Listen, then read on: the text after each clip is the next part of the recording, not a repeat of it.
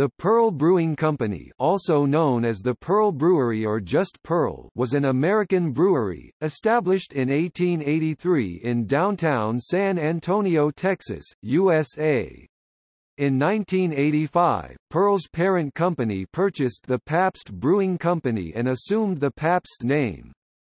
In 1999, the Pabst Brewing Company began transferring its production to Miller Brewing, on a contract basis, and closing all of its breweries.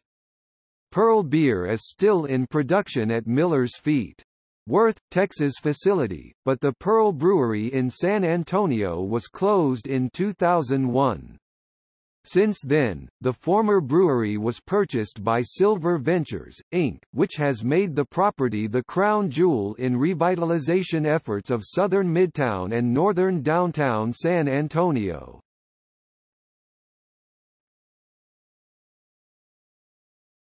Topic: History.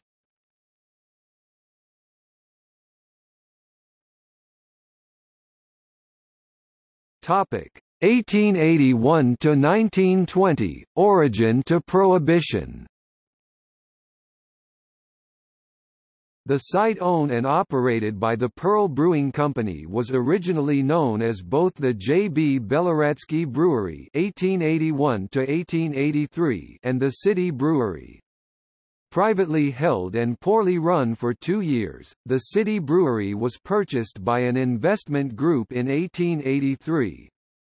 The investment group was composed of local businessmen and several moguls already involved in brewing at San Antonio's other major brewery, the Lone Star Brewing Company. Together they formed the San Antonio Brewing Company 1883 and began to raise capital to fully restart and improve operations at the brewery. In 1886, after three years, the company had secured the necessary capital and began full-time operations at the brewery again. The name San Antonio Brewing Association was used as a parent to the brewing company, since it also managed some of the founding members' other business interests. Functionally, the business structure worked, but it caused confusion with city officials, customers, and business partners. Therefore, in the end, the investment group dissolved the San Antonio Brewing Company and used the San Antonio Brewing Association 1888 to 1918 name for all operations and business transactions. Thus, in seven years, the same brewery had three different names. In addition, the name City Brewery was frequently used.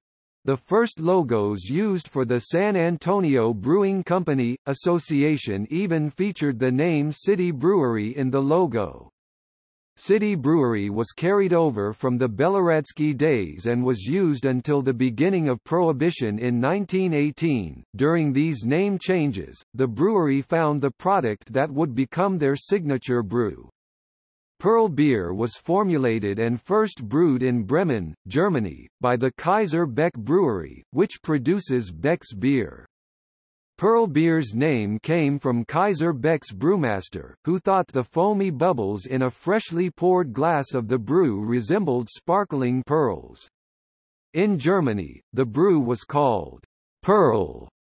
When brought to the United States, the spelling was changed to English, Pearl. In 1886, the first bottles and wooden kegs of American Pearl beer rolled off the line and into local tap rooms. In 1902, Otto Koehler took the helm of the brewery, leaving his position as manager at the Lone Star Brewing Company to become president and manager of the San Antonio Brewing Association. Under Otto's leadership, the brewery set in motion strategic plans to grow in physical size, as well as beer output. The San Antonio Brewing Association went from a microbrewery that produced enough output for local residents and businesses to a strong competitor to the much larger Lone Star Brewing Company. Koehler was one of the first residents to build in the newly opened Laurel Heights section of San Antonio. The hill on which Koehler built his home, now known as the Koehler Cultural Center, provided a clear view of the city skyline and, of course, included an unobstructed view of the San Antonio Brewing Association's city brewery. Legend has it that by sitting on his porch, Koehler could determine whether his employees were hard at work by the smoke color rising up from the brewery's stacks. In 1902, Koehler purchased the property to reopen the since closed Hot Wells Hotel, Spa, and Bathhouse, located on the San Antonio River in the south side of San Antonio. Many celebrities visited Hot Wells in its heyday in their own railroad cars with access by a spur to the resort. The facility was sold in 1923 to a Christian Science group. After many years, part of the time as a trailer park, work was authorized to begin in 2015 by Bexar County Commissioner's Court to restore Hot Wells. After Koehler's death, his wife, Emma, succeeded him as the chief executive.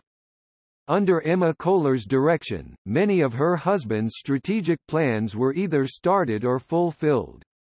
Namely, she modernized the original brew house, and by 1916, beer production capacity had significantly increased from 6,000 U.S. barrels 720 cubic meters per year in the early 20th century to over 110,000 U.S. barrels 13,000 cubic meters per year. With the tremendous production increase, the San Antonio Brewing Association was able to outpace the Lone Star Brewing Company to become the largest Texas brewery and the beer America most widely associated with Texas and the West. During the early 20th century, Pearl used advertisement campaigns that featured Judge Roy Bean, one of the more colorful and popular law enforcement personalities of the Wild, Wild West.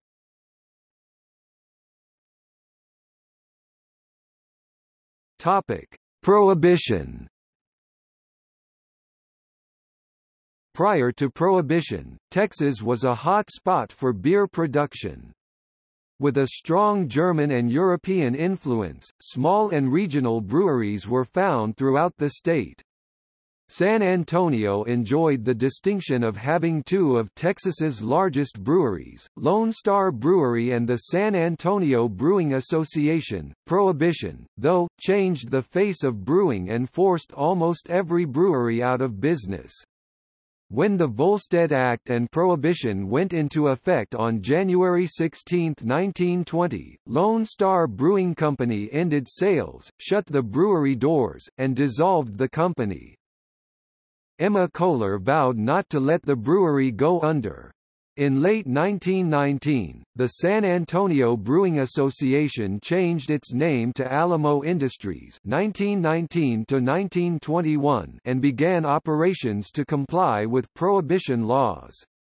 Times were tough for the brewery and its employees, but the facility stayed open by continuing to produce a near beer called La Perla bottling soft drinks, dry cleaning, operating a small advertising sign division, running a small auto repair shop, and entering the commercial ice and creamery businesses. Being so diverse brought in cash for the company, but it also meant Alamo Industries was not particularly good in any one area. As a result, Alamo Industries reorganized their product lines. The company changed its name to the Alamo Foods Company 1921 to 1933 and shifted products toward the food specialty.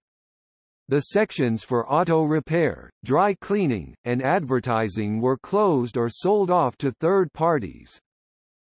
Although no solid proof exists, rumors abound that Alamo Foods used the old brewery equipment for more than La Perla and that, in fact, the brewery still bottled a tiny amount of the real Pearl and Texas Pride for close friends and sale on the black market.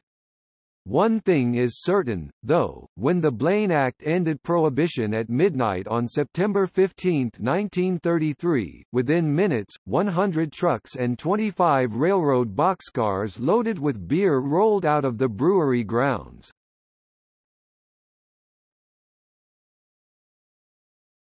Topic: After Prohibition. With the end of Prohibition, so too came the end of the Alamo Foods Company. The company went back to their prior name, San Antonio Brewing Association 1933 to 1952. Most believed beer production would quickly return to the levels before the 1920 ban. However, Pearl's hard times were not over yet. In 1933, the nation was still deep in the grips of the Great Depression, although most of the public would have loved to enjoy a Pearl, the financial situation of most made buying beer an unaffordable luxury. Through her skillful management, Emma Koehler kept the brewery afloat through the Depression, selling beer to those who could afford it and continuing many of the business ventures that had carried the brewery through Prohibition.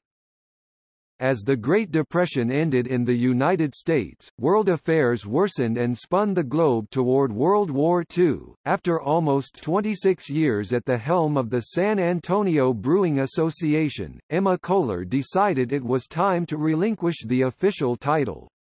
Her retirement closed an amazing chapter in the brewery's history. While it may not seem much these days, Emma's successful management role at Pearl was a breakthrough for its day.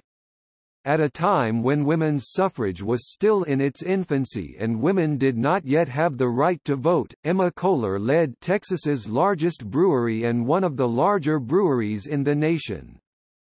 Emma did not fade quietly into the history books, however. For years after her retirement, she remained an important part of brewery operations. While she did not have voting powers with the San Antonio Brewing Association, she typically had the final word on all large deals or changes. Emma's successor depended on her heavily after the transition and during the brewery's changes to meet the effort of World War II.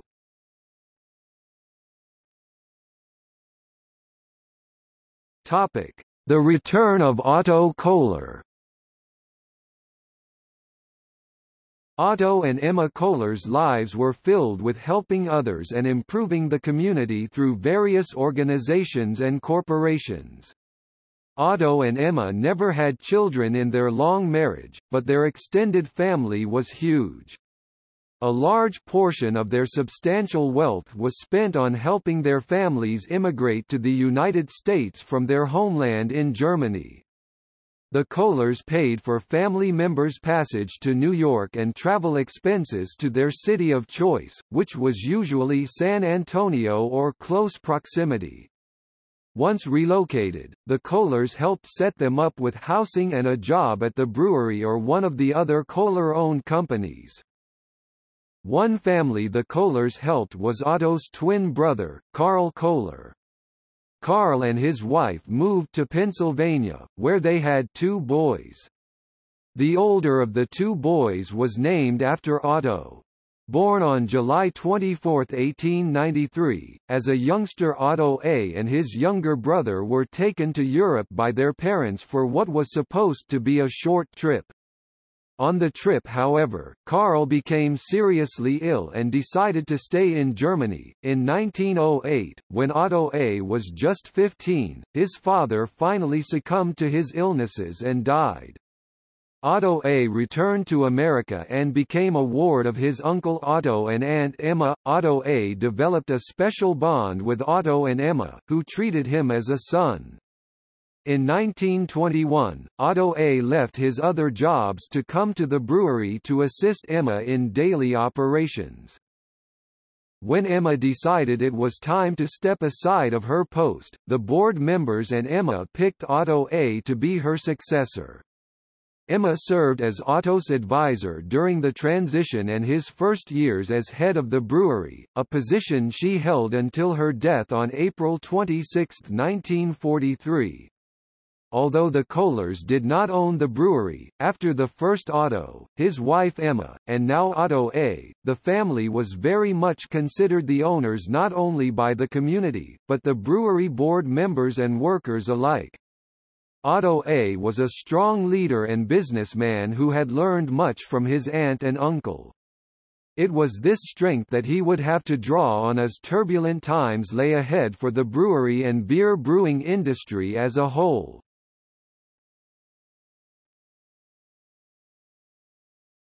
Topic: Power struggle. Through the 1940s, operations at Pearl continued at a steady pace. Pearl was well established as the largest brewer in Texas, even though Lone Star Beers had adopted the slogan proclaiming Lone Star the national beer of Texas. Pearl, as a company, did its part in the war effort, reducing can production to save on metals and producing generic beer for the troops abroad. At the end of the war, Pearl re-established its aggressive growth drive and shifted marketing to focus on the emerging power buyer, the post-war housewife. Production and market-wise, the 1950s were similar to the late 1940s. In the early 50s, the San Antonio Brewing Association felt they needed to increase the association of their number one product, Pearl Lager beer, with the company itself. In marketing research, the association found that most consumers believed the San Antonio Brewing Association encompassed more than a single brewery. In fact, the public thought San Antonio Brewing Association referred to all brewing in San Antonio in general. Therefore, in 1952 the San Antonio Brewing Association changed its name to the Pearl Brewing Company 1952 present. Pearl was successful, not only in Texas, but on a national level, as well. Larger companies saw this success and made many attempts to buy out Pearl and their beers. Almost all offers were never even considered. In what would turn out later to be ironic, one company came very close to buying out the Pearl Brewing Company in the 1950s, Pabst Brewing Company. B. B. McGimsey, who was Pearl's plant manager, shareholder, and the face of Pearl at most events, began gaining support to sell the brewery off. McGimsey was a charismatic leader whom most of the employees liked and respected. McGimsey's influence also reached other board members, and when the offer came from Pabst, it was not as easily dismissed. Details of the offer have long been lost, but one can surmise it was a good deal given the consideration given to it by Pearl. McGimsey believed that Pearl's stance as an independent Texas brewer would never allow them to truly compete on a national level with brewers from St. Louis and Milwaukee.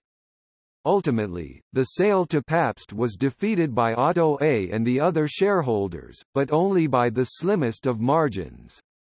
Pearl maintained its independence, for now.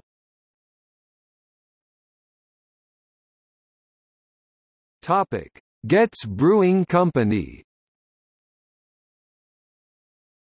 Although narrowly defeated in the vote to be acquired by Pabst, McGimsey and fellow members of Pearl's board still pushed for change in the company.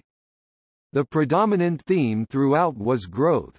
The acquisition of Pearl by a larger company was no longer considered, but then how could the company really grow and hope to compete with industry leaders such as Anheuser-Busch, Miller, and Pabst? Pearl considered expanding the San Antonio brewery to increase production, but after researching the idea, Pearl realized expanding the brewery could only gain them a nominal production increase and ultimately would not be worth the overall investment. Otto A and the board began studying other companies to try to see what innovations or organizational structures were working, and if those changes could be applied to Pearl. Pearl's board noticed that the larger brewers such as Anheuser-Busch were not attempting to push more and more products out of a single brewery, instead, they had several breweries spread out to distribute their products. Pearl seized on the idea of a second brewery and began to explore the options. Location was a huge factor in the considerations. San Antonio's location allowed Pearl to reach both the east and west coasts equally well. However, San Antonio's southern position was not ideal for reaching places such as Maine or Washington state. One idea was to build a second brewery somewhere in the northern Midwest. Initial studies of this idea proved too costly to be feasible. The price tag of land, permits, zoning, construction, equipment, manpower, and initial operations proved to be too large for Pearl to afford. Pearl could have raised the cash need for the project, but doing so would have extended the company a little too thin, and one misstep or hiccup in sales could force Pearl into bankruptcy. Rather than building a second brewery and potentially putting the company at risk, Pearl decided to purchase an existing brewery to increase production and the distribution network. Overall, buying out another brewery meant a larger initial investment, but the new brewery would be able to put out Pearl beer almost immediately and therefore help recoup costs more quickly. From a short list of potentials, the M.K. Goetz Brewing Company in St. Joseph, Missouri, seemed the perfect fit for Pearl's plans.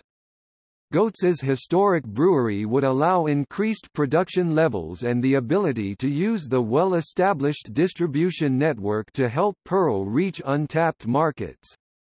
In addition, Pearl gained access to the Goetz line of beers, from pilsners to malt liquors. In 1961, the Pearl Brewing Company officially purchased the M.K. Goetz Brewing Company. Overall, the merger of the two companies was a success. Beers from both companies began to be produced at the two facilities. Goetz brewed all of the Pearl beers for easier distribution in the north, and Pearl produced Goetz's Country Club malt liquor. Country Club proved very successful for Pearl, and in fact is the only Goetz beer still in production by Pabst today under the Pearl Brewing Company name. The merger was not without its problems, but overall the transition occurred smoothly. Pearl took over as the corporate headquarters and some duplicate jobs were eliminated. The production side of Goetz remained intact, with Pearl treating Goetz employees just as they did the employees in San Antonio, like family.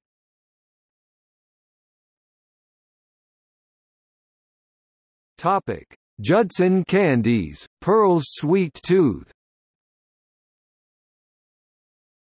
Although Pearl had long dominated the Texas market over Lone Star, that did not stop the rivalry between the two. Each brewery was intent on being known as the Brewery of Texas. Competition in the community was fierce, with both companies doing all they could to be associated with any large event. In the 1950s and 60s the competition was at its highest. For San Antonio's week-long festival called Fiesta, each company would sponsor as many floats and events as possible in an attempt to get their name out the most in the public eye. During the annual San Antonio Stock Show and Rodeo, Lone Star and Pearl would get into bidding wars over the blue ribbon winner of each show animal category. The two breweries would drive the prices up sometimes triple the animal's worth, all in an attempt to best their rival. The strangest twist to the seemingly endless rivalry involved a small candy company in San Antonio, called Judson Candies. In 1965, the Pearl Brewing Company bought Judson Candies from the three sons whose father had helped found the business. On its own, Judson was a profitable company that had an established name in the candy industry. Judson was not on the level of Hershey or Mars, but did have strong sales in the Southwest. Pearl simply made the Judson sons an offer they could not refuse. So, in 1965, Judson Candies joined the Pearl and Goetz families under the umbrella of the Pearl Brewing Company.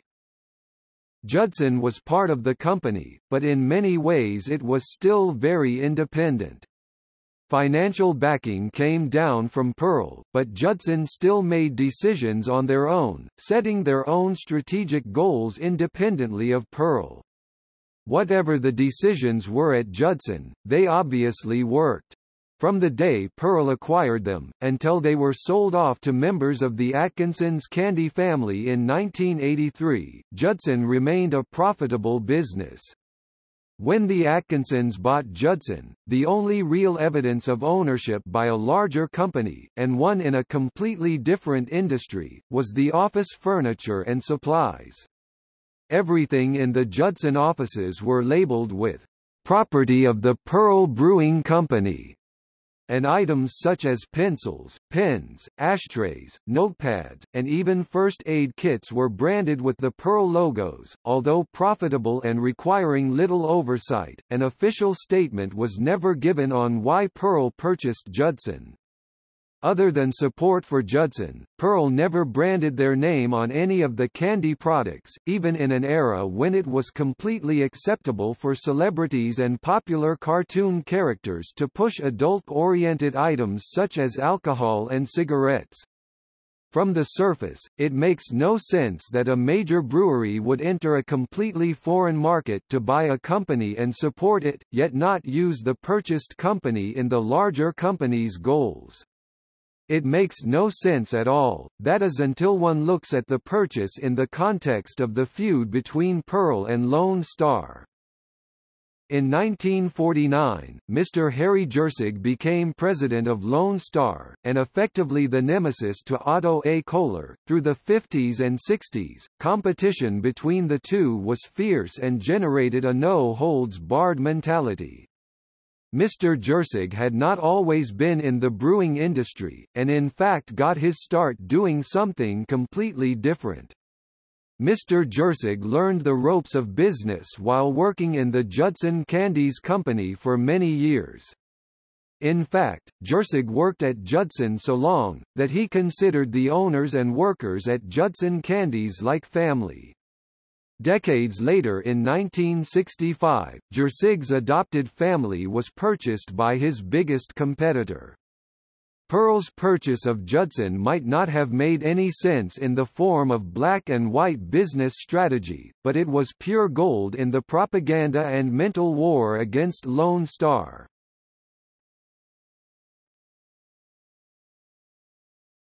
Topic: 1970s to 1990s.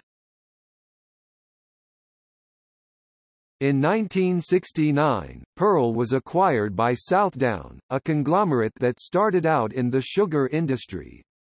In 1977, Pearl was sold to General Brewing of San Francisco, owned by Paul Kalmanovitz. Kalmanovitz specialized in leveraged buyouts, which take over businesses to sell off their parts for profit, closing plants and laying off employees. After a takeover in St. Louis, brewery employees there flew the American flag at half-staff and upside down. Kalmanovitz acquired the Pabst breweries, going back to 1844, in 1985 and united his holdings under the name Pabst Brewing Company.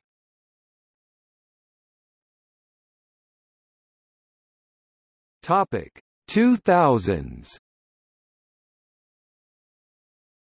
The new millennium did not bring a change in luck for Pearl or Pabst as a whole. Changes instituted in the 1990s saved money, but did not solve the company's larger problems. To stay alive, Pabst needed a change, a huge one. As of 2000, Pabst's new strategic plan was well underway. To save even more money, they had devised a bold idea to save the company, closing all of their breweries and ending their own beer production. The Pearl Brewery's days as a full brewery were numbered. After 118 years of brewing along the San Antonio River, the doors to the Pearl Brewery closed. The community felt betrayed by Pabst, resulting in countless less than pleasant articles in the local papers and on the Internet. The public only saw that Pabst had closed a historic part of San Antonio and forced over 150 workers into unemployment. In truth, though, the resulting situation was not completely Pabst's own doing.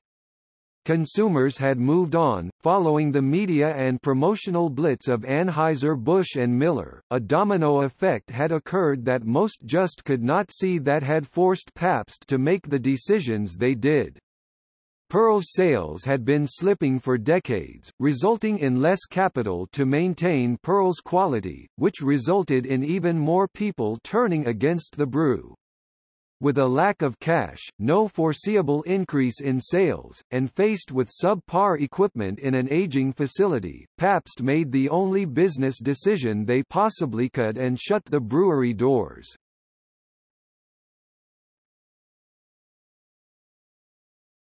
Topic: Brands Today, the Pabst Brewing Company is a marketing company. Pabst no longer owns or operates any of their former breweries. Pabst contracts out the brewing of all of their beers to other brewers. By far, Pabst's largest agreement is with Miller Brewing Company, which produces Pabst's major brands, as well as Pearl and Lone Star although Pabst's more popular beers such as Colt 45, Stroh's, and Pabst Blue Ribbon are produced at virtually every Miller facility, Pearl is only brewed at the Ft. Worth location. Pearl, Pearl Light, and Country Club are still available to this day, but only in small volumes and in select markets such as Texas and Oklahoma. Today's distribution is greatly reduced from the 47-state coverage Pearl's beers once enjoyed. In addition, the variety in which Pearl's beers were available has also decreased. Although previously produced and sold in every form, such as bottles, cans, and kegs, the current iteration of Pearl is only available in 12 packs of 12 Oz cans. Likewise Country Club has been reduced to only 40 Oz bottles.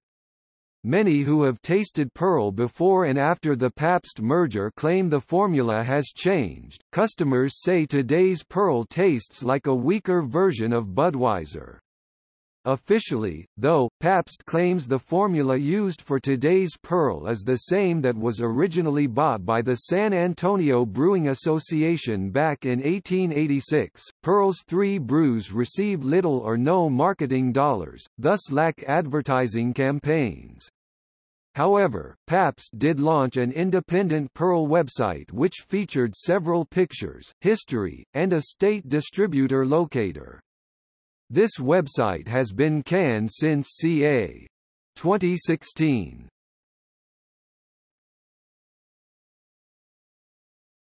Topic: The brewery.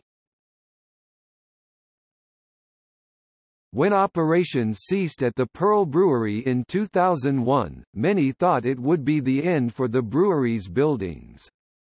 The brewery's proximity to the core of downtown San Antonio and the easy access to several highways led many to believe it would be a prime target to be razed and replaced. However, these two attributes, along with another surprise development, actually saved the brewery facilities and helped to ensure its architecture would survive. San Antonio has begun work to expand the River Walk north to where the river meets U.S. Route 281. The Pearl Brewery is close to a section of the river expansion, thus making it an attractive location and eligible for incentives by the city to assist business development. Toward the end of 2002, Silver Ventures, a San Antonio-based investment firm, purchased the 23-acre (93,000 square meters) brewery site.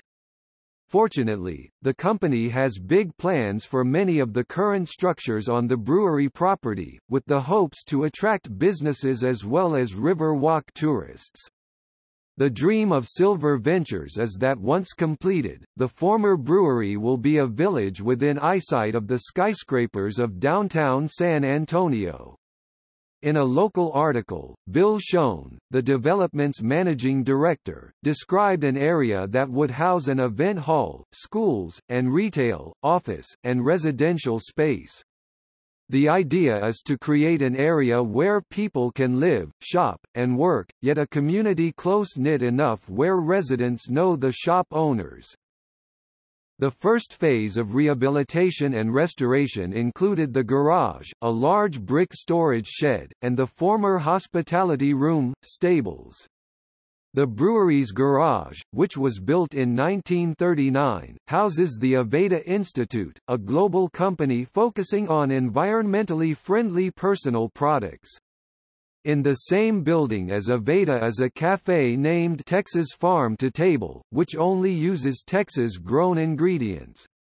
The renovation updated the building to meet the current business needs, but still maintains the brewery feel to the exterior by reusing beer storage tanks as landscaping water tanks and a few of the garage's old red pumps. The Culinary Institute of America CIA uses one of the brewery's large sheds originally created there as the Center for Foods of the Americas CFA, an upscale culinary institute developed by the CIA. It was originally planned to occupy the former bottling shop, but a mysterious fire in November 2003 gutted the building and forced its demolition.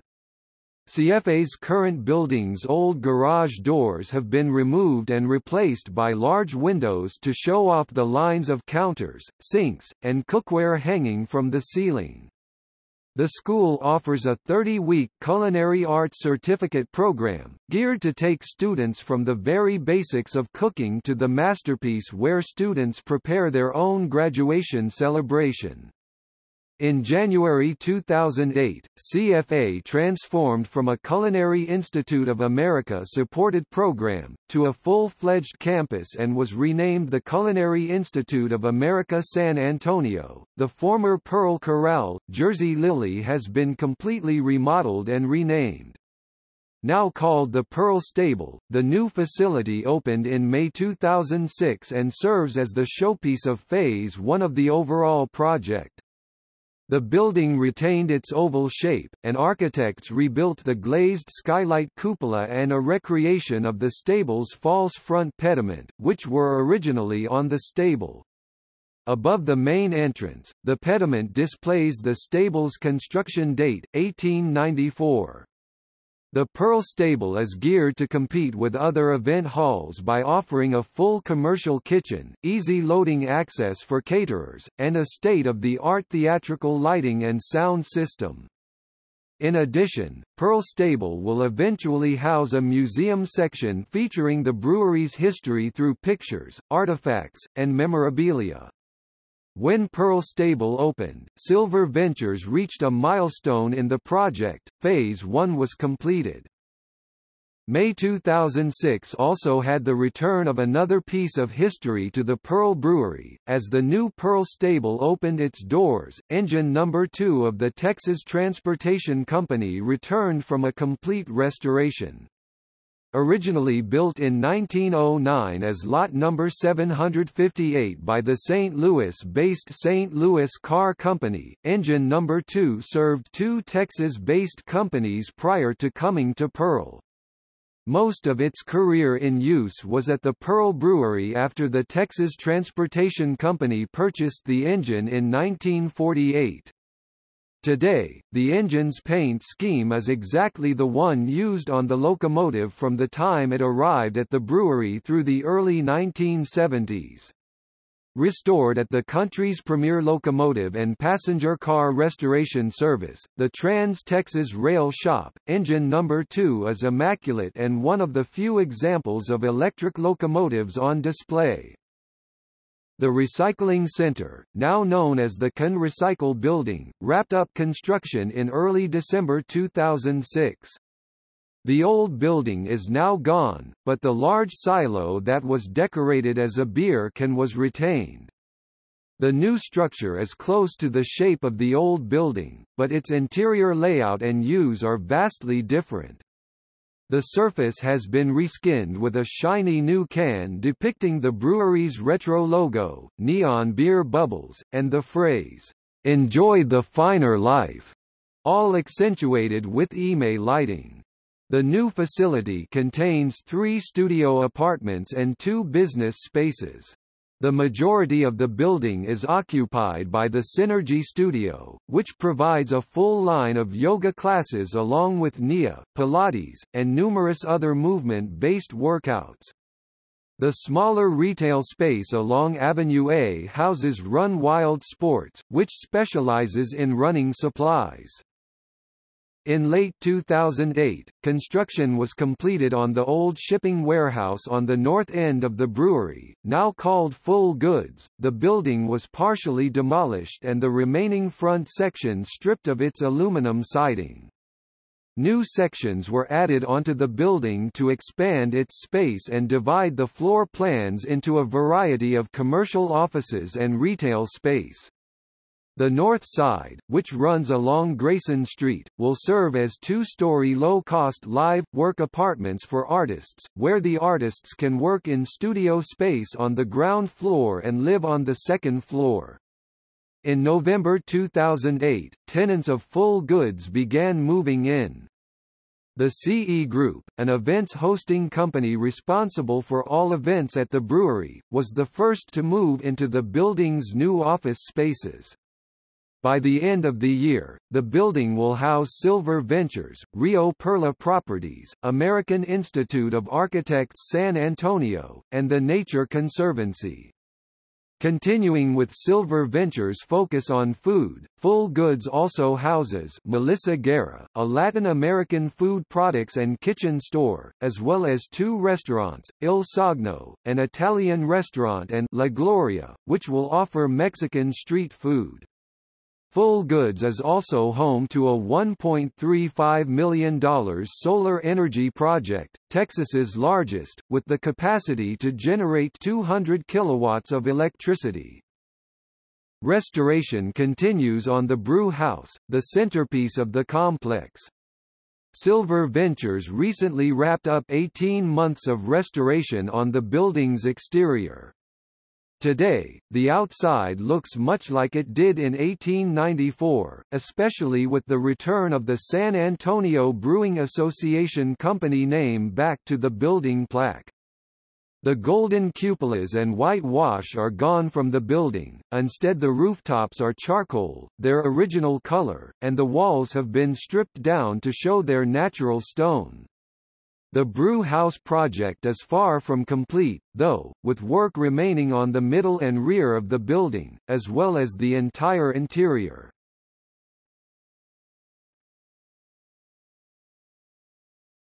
Topic: Marketing During the early 20th century, Pearl used advertisement campaigns that featured Judge Roy Bean, one of the more colorful and popular law enforcement personalities of the Wild, Wild West. In Langtry, Texas, Judge Bean declared himself the law west of the Pecos and ran his court in the town's tiny U.S. post office and bar called the Jersey Lily Saloon. Judge Roy Bean was as famous in the late 19th and early 20th centuries as many of the motion picture stars are today.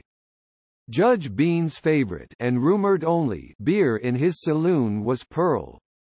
Seeing this as an opportunity, San Antonio Brewing Association for decades used the connection to Judge Bean and the Jersey Lily as advertising focal points. Later, in the 1950s, the brewery's old horse stables were converted into a hospitality room and given a Roy Bean feel to them in honor of Judge Roy Bean and his saloon. The old stables were renovated again in the 1970s with the main hall renamed the Lily Langtry Room and the whole building named the Jersey Lily.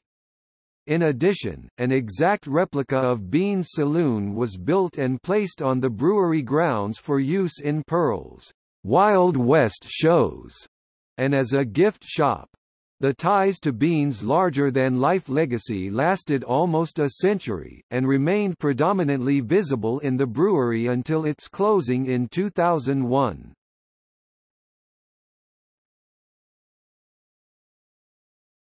Topic. Pearl and the Railroads.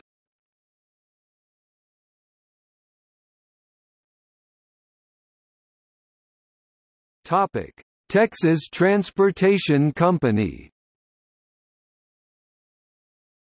The Texas Transportation Company (TXTC) was a class III short line railroad in San Antonio that serviced the Pearl Brewery, the company operated electric locomotives on their 1.3-mile (2.1 kilometers) line for more than 113 years. TXTC was started as a private company in 1887 until it was chartered on September 24, 1897. In the early days when the Lone Star Brewing Company was located on W. Jones Avenue, TXTC serviced both breweries. Service ended for the line when the Pearl Brewery closed in 2001.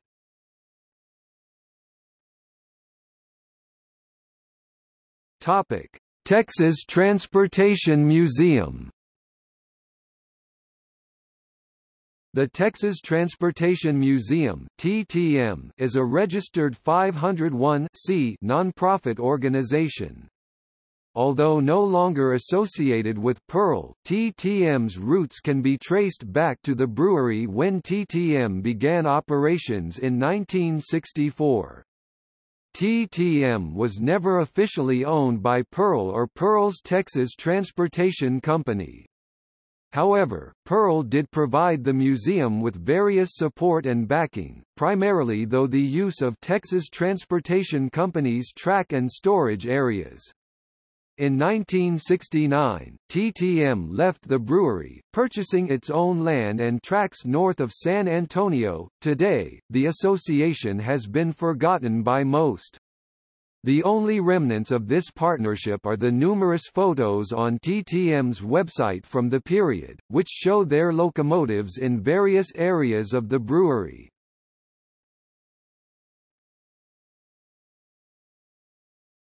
Topic: 3XXX of Texas The Triple X logo has long been associated with Pearl. In fact, it was used at the brewery even before Pearl beer became synonymous with the company.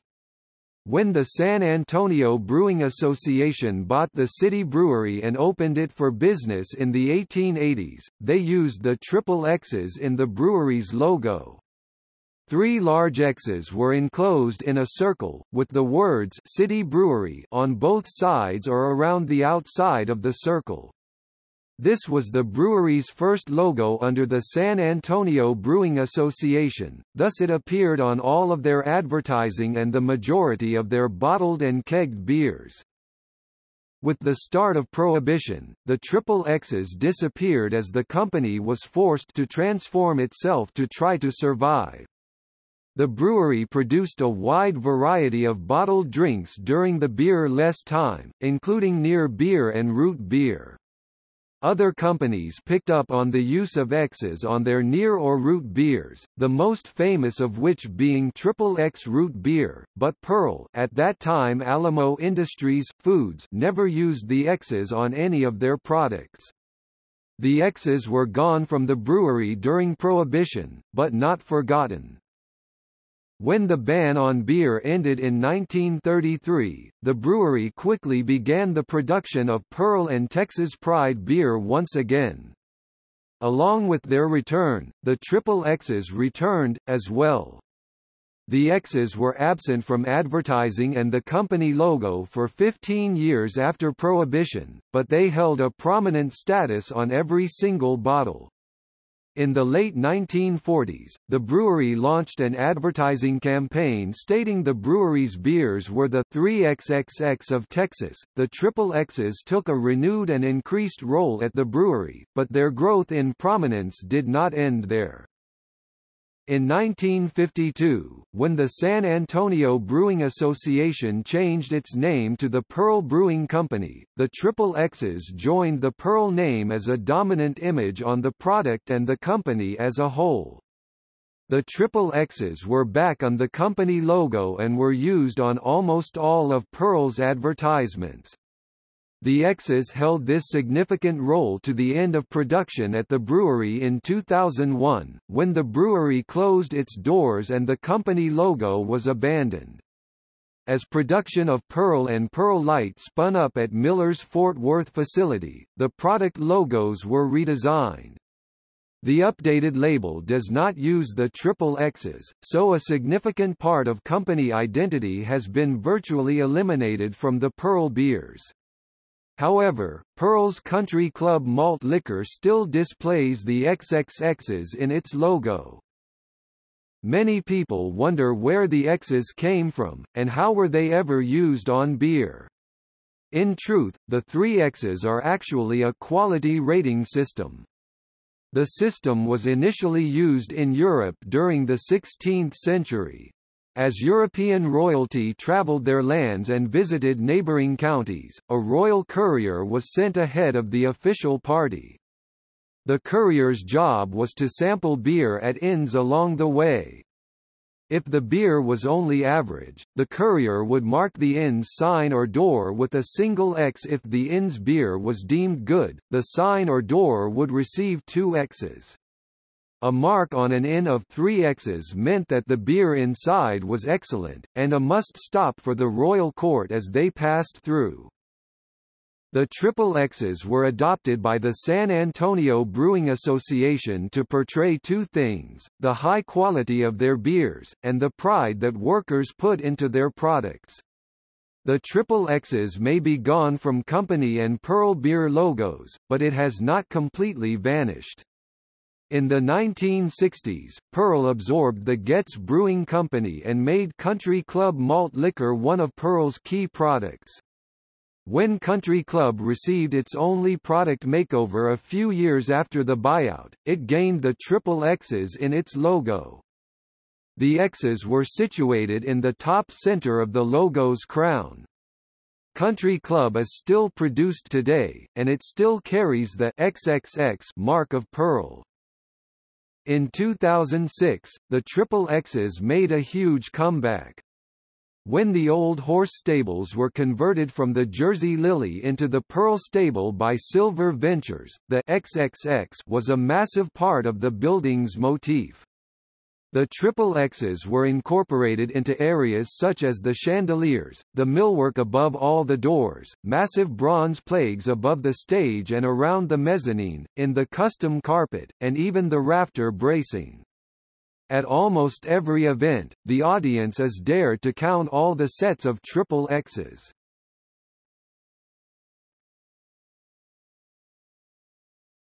Topic: Pearl City, Texas. It is not uncommon to see beers named after the towns where they were brewed. For example, Texas's own Shiner is brewed in Shiner, Texas. So, seeing a local brewery name a beer after the town or city is pretty common. However, what is not common is a town named after a beer. That is exactly what happened, though, in Texas with Pearl. In a small community just west of Yoakum, Texas, a small store had the highest Pearl beer single-point sales for a number of years prior to Prohibition. Walter G. Hagen's General Store was the focal point of the community, and it had sold Pearl's beers by the truckload and still sold a rather large volume of the Prohibition-era non-alcohol Pearl. The idea to name the town after Pearl was concocted by Hagen's and the local Pearl distributor, R. J. Esslinger. In 1942, the motion passed and the German, Czech town became known as Pearl City.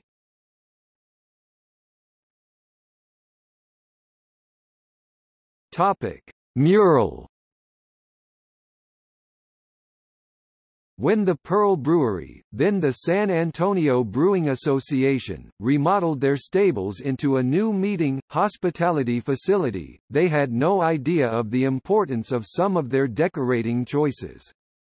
The remodeled stables, dubbed the Pearl Corral, focused on a Western theme, with a wide range of influences. The corral contained a replica of Judge Roy Bean's saloon, cactus decorations, ranching fence lines, and the center attraction, a massive mural depicting the days of the Old West. Created by Southwest artist James Buchanan Buck Winn, his work titled The History of Ranching measured 6 feet 1.8 meters tall and over 280 feet 85 meters wide. The mural wrapped completely around the corral's main room and remained there for two decades.